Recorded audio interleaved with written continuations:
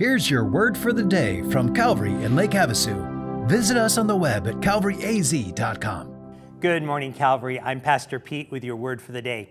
As we've been reading through the book of Matthew, you often come across the responses of individuals to Jesus.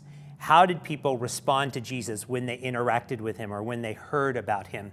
And today we have the account of how King Herod responded to Jesus when he heard of all that Jesus was doing. So I'm in Matthew chapter 14. I'm going to read verses 1 and 2. It says, At that time, Herod the Tetrarch heard about the fame of Jesus, and he said to his servants, This is John the Baptist. He has been raised from the dead.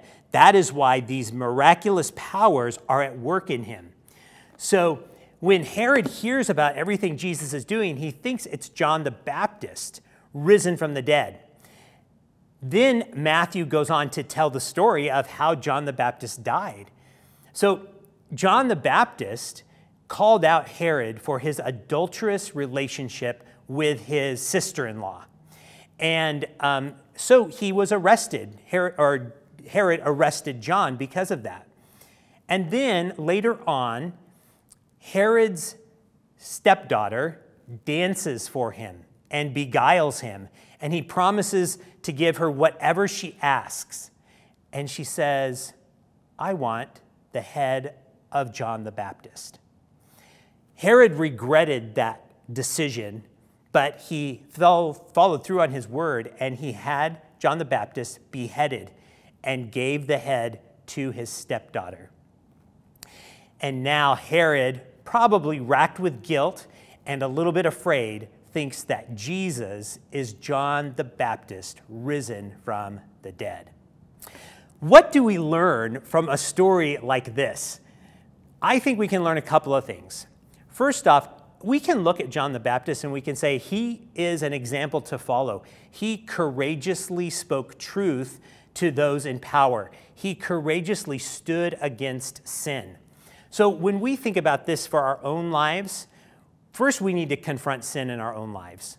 When we know we're not living according to God's word, we need to confront that and not let that just slide. There's things that we need to get cleaned up, probably. And then, after we've uh, taken that log out of our own eye, then we can see clearly to maybe remove the speck in a brother's eye or to call out some of the sins that we see in society and speak God's truth to power. So that's one thing we can do follow the courageous example of John the Baptist. And then, of course, the last thing that we learn from this is probably that Jesus has the power to work in people's lives to turn them around, to turn them from that sin. You know, Herod didn't repent. Instead, Herod was solid in his rebellion against God. But through Jesus, when we present Jesus and we present that truth to people, there's a chance for His miraculous power to work in someone's life, to turn them around, help them to repent, and help them to trust in Him. Calvary, I hope today's word blesses you. Read the rest of this paragraph in John 14, and we will see you next time.